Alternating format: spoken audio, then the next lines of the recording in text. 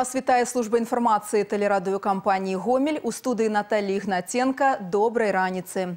Дэлегацыя з Японіі на чале з членам палаты саветнікаў парламента гэтай краіны спадарыняй моры Масака наведала Хойніцкі раён. Замежных гасцей цікавіць вопыт работы па перадоленні наступству катастрофы на Чарнобыльскай атамнай станцыі. Пасля катастрофы на Чарнобыльскай АЭС Японія неаднаразова дапамагала нашай краіне і гомельскай вобласці ў прыватнасці у працэсе рэабілітацыі пацярпелых ад аварыі раёнаў. І тады, канешне, ніхто не думаў пра тое, што калі-небудзь Японіі прыйдзецца звярнуцца за дапамогу ў вырашэнні падобных праблем да беларусаў.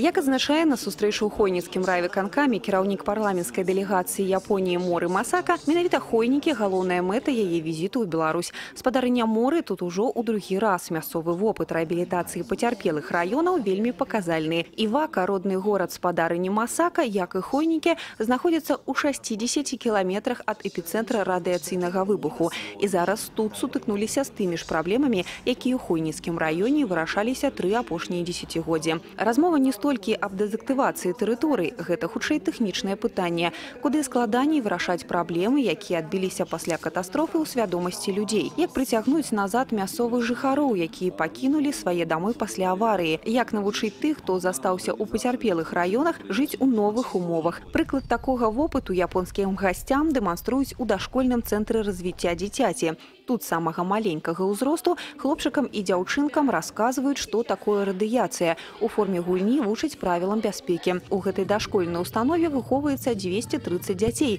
з кожным годам колькасць выхаванцаў павялічваецца У хойніцкім раёне зараз адзначаецца рост нараджальнасці. Яна тут вышэй, чым у сярэднім па вобласці і ў цэлым па рэспубліцы. Если взять полугодие этого года у нас родилось 163 ребенка. В прошлом году было только 140. Это надо сказать э, благодаря тому, что сегодня к нам приезжают молодые специалисты. Они остаются. Здесь имеется у нас и жилье, и э, есть э, возможность, инфраструктура. Замацаванне маладых спецыялістаў гэта таксама важнае пытанне, якое хвалюе гасцей. Зараз у Японіі моладзь не жадае працаваць на тэрыторыях, якія знаходзяцца побач з фукусіма 1. У хойніцкім раёне гэты этап прайшлі. Працоўныя месцы згодныя заработнай платай вось тое, што прываблівае людзей у першую чаргу. Да гэтага трэба дадаць развітую інфраструктуру і даступнае жыллё. Як вынік сёлета толькі ў медыцынскую сферу раёна прыехалі працаваць 20 чалавек, а ў 2006 да прыкладу быў толькі адзін. Так што дынаміка станоўчая і цікавая для Японіі. Вельмі цікавы вопыт навучання дзяцей з такога маленькага ўзросту асновам радыяцыйнай бяспекі. Таксама у нас выклікалі захапленне тыя сацыяльныя праграмы, якія накіраваны на замацаванне маладых спецыялістаў. Настасья Кучынская, Максим Славін, тэлерадыёкампанія Гомель з Хойніцкага раёна. Масавая уборка зялёнага гароху ў гэтыя дні праходзіць у многіх раёнах гомельскай вобласці. Аграры ўжо сабралі ўраджай з больш чым 300 гектараў. У планах амаль столькі ж. Найбольш актыўна ўборка ідзе на палях ксуп Брылёва. Там пабывала Ганна Кавалёва. Незважаючы на рэзкія перамены надвор'я на палях ксу брылёва поўным ходам ідзе збор зялёнага гарошку. Гэтыя камбайны галандскай вытворчасці прыстасаваныя спецыяльна для збору гэтай культуры. Тэхніка адразу ачышчае расліну ад струкоў, пакідаючы суцэльныя гарошыны. Такім спосабам у дзень тут збіраюць прыкладна 25 тонн. В 6 часов уезжаем с гаража. Не тяжело, нормально. Работать можно. Со спаржевой фасолью в том году убирал, тоже на комбайне. Ну, чуть-чуть сложнее горох убирать, чем спаржевую фасоль. Гарохам сёлета тут засели 130 гектараў зямлі, 115 з іх ужо прыбрана. Дарэчы, тут з гэтай культурай працуюць па адмысловай тэхналогіі. Засяваюць не ўсе палі адразу, а з прамежкамі, каб і паспяванне адбывалася паступова на розных участках. Гэтак жа праходзіць і ўборачная кампанія. Для чего мы делаем это по срокам? Чтобы горошек не перезревал и поступил экстра класса в банку и качественно подался на стол покупателя. З моманту пасеву і да паспявання гарох два разы апрацоўваюць гербіцыдамі, каб абараніць ад пустазелля. Але на карысныя ўласцівасці канчатковага прадукту гэта не ўплывае. Акрамя пустазелля у ліку ворагаў расліны засуха, якая ў гэтым годзе перыядычна назіралася ў рэгіёне. Праўда, на ўзроўні ўраджайнасці гэта не адбілася. Сёлета яна складае тут каля 80 цэнтнераў з гектара. Культура налічвае мноства сартоў. Напрыклад, гэта называецца радаван. Менавіта з яго гатуюць аліўе. сабе. Таму адразу пасля збору ураджай накіроўваюць на кансервацыю. Дарэчы, праводзяць гэту працэдуру прямо тут, у Брылёва, на ўласным кансервавым заводзе. Такое суседства дазваляе максімальна захаваць свежасць прадукту. Бо за лічаныя хвіліны з палетка ў гарох адразу трапляе на канвеер, а затым і да свайго спажыўца. Дарэчы, на гэтай вытворчасці перапрацавалі ўжо 700 тонн новага ўраджаю. Пастаўкі гомельскага гароху ідуць у Расію, а таксама Гродзенскую, Віцебскую, Мінскую і іншыя вобласці нашай краіны. Калі ж казаць пра апошнія дадзеныя гомельскай вобласці, то на сёння у нашым рэгіёне паспелі сабраць амаль 2000 тонн ураджая гароху, а гэта прыкладна ў паўтара разы больш, чым у гэты ж перыяд минулага года. Ганна Кавалёва, Ігор Марышченко, тэлерадыокампанія Гомель. У сістэме жыллёва-камунальнай гаспадаркі чарговыя змяненні. З першага кастрычніка гаспадары незаселенага жылля будуць плаціць за ваду ў залежнасці ад плошчы кватэры. Новаўвядзенні будуць тычыцца налічэння платы за паслугі водазабеспячэння і водаадвядзення ў жылых памяшканнях, дзе не ўстаноўлены лічыльнікі працутнасці зарэгістраваных грамадзян. Аб'ём зрасходаванай вады ў такіх кватэрах будзе вызначацца зыходзячы з нормаў спажывання. Таксама будзе вылічацца ўмоўная колькасць грамадзян. Для гэтага плошчу падзеляць на 20 квадратных метраў з улікам акруглення ў меншы бок да цэлай лічбы.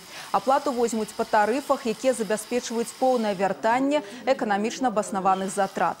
Па прыблізных падліках сума будзе ўтрая большая, чым з лічыльнікамі. Гэта значыць, што пасля ўступлення ў сілу змяненняў тым, хто жадае плаціць толькі за фактычна спажыты аб'ём вады, трэба будзе ўстанавіць такія прыборы і заключыць дагавор на водазабеспячэнне і водоотведения. Если, ну, предположим, в квартире, квартира у гражданина 50 квадратных метров, то предполагается, что на одного жильца должно относиться 20 квадратных метров общей площади. Соответственно, в данном помещении предполагается, что проживает два человека.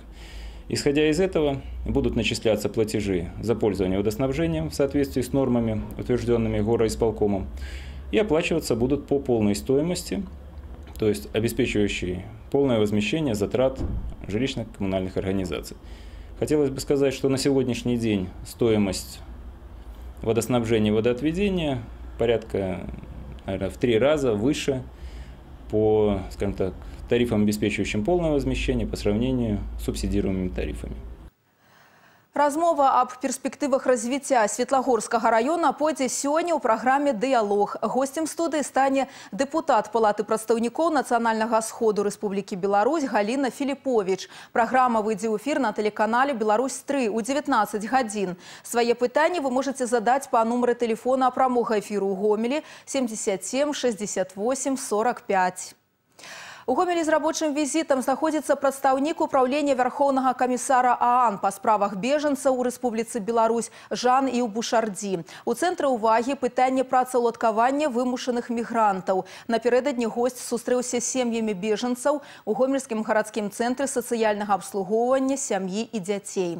Тых, хто мае патрэбу ў працоўных месцах нямнога, але складанасці ў эканоміцы паўплывалі на тое, што свабодных вакансій таксама не хапае нават для беларусаў. Тым тым больш такіх, якія б супадалі з прафесійнымі навыкамі суіскальнікаў. Альбо пасада знаходзіцца ў іншым горадзе ці нават в обласці.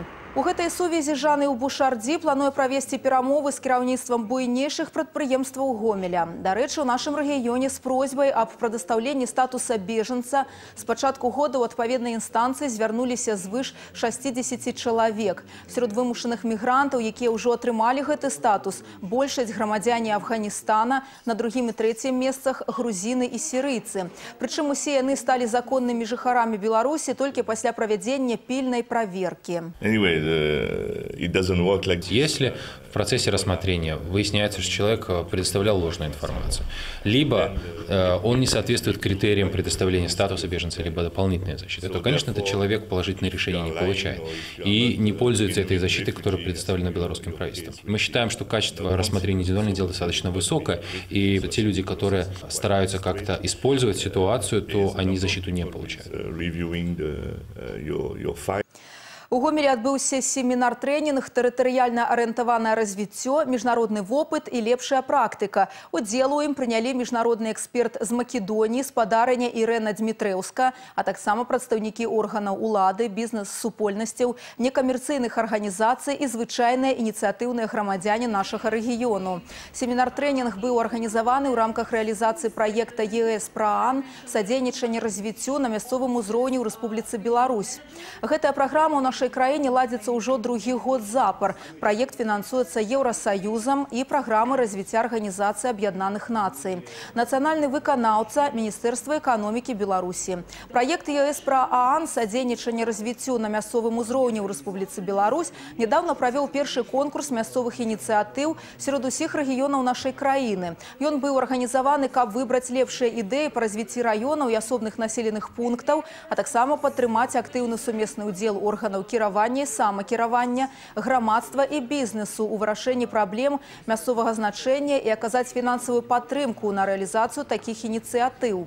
Па выніках першага конкурсу для далейшага ўдзелу ў праекце былі адабраны раёны, якія стануць асноўнымі пілотнымі пляцоўкамі ў яго рэалізацыі. Дарэчы, пяць з іх у Гомельской области. Мы запускаем серию семинаров, тренингов для представителей инициативных групп, которые формируются в пилотных районах. У людей была идея, они написали заявку, получили финансирование на первом конкурсе местных инициатив. Сейчас мы пытаемся улучшить их знания в области а, торподхода, написания заявок, и они будут готовить на заявки на основной конкурс местных инициатив.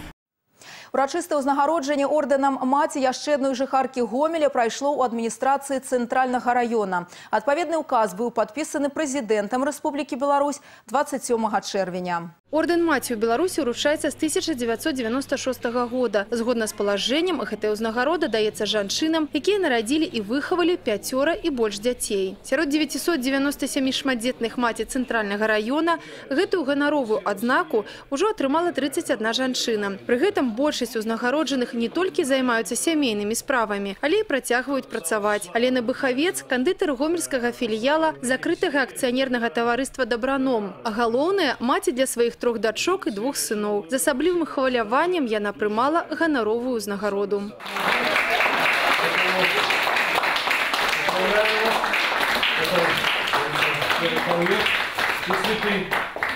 Всего самого хорошего. Павіншаваць шчаслівую сям'ю, а таксама ўручыць свае падарункі прыйшлі прадстаўнікі прадпрыемстваў, на якіх працуюць бацькі. Ад такой колькасці ўвагі шчаслівая маці крыху разгубілася. На падтрымку ёй прыйшоў муж Александр. Семья должна быть семьей.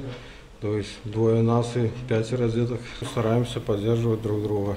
Дети тоже помогают, уже старшая дочка взрослая помогает уже с маленькими. Ганна Каральчук, Марина Северьянова, Михаил Рабков, телерадиокомпания «Гомель». Прыемная навіна для аматараў вулічнага баскетбола. Гомельскі абласны цэнтр алімпійскага рэзерву уладкаваў для ўсіх жадаючых стацыянарную пляцоўку для стрытбола.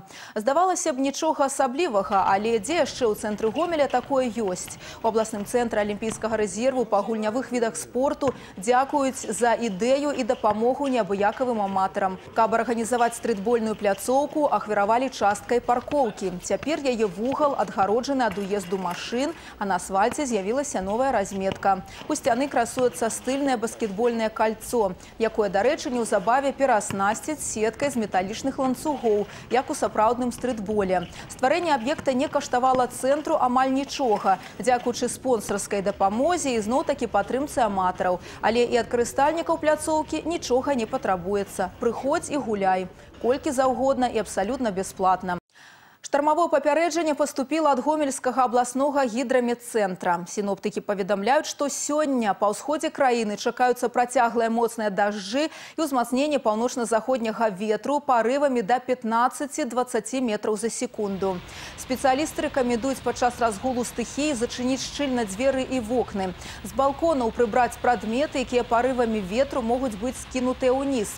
Калі ж вы апынуліся падчас стыхіі на вуліцы, не варта хавацца пад асобнымі дрэвамі паблізу электрычных падстанцый і ліній электраперадач. Па магчымасці ўтрымайцеся ад паездак на аўтамабілі.